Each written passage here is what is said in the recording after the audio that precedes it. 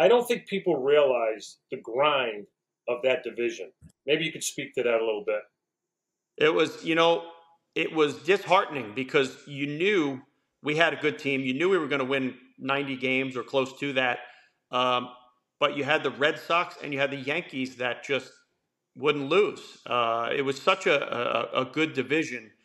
Um, you know, and you like playing against uh, a good division. You you would you don't want to be in a crap division, but um, you know it, it's tough going into Boston and going into uh, you know Yankee Stadium and, and, and beating those guys all the time.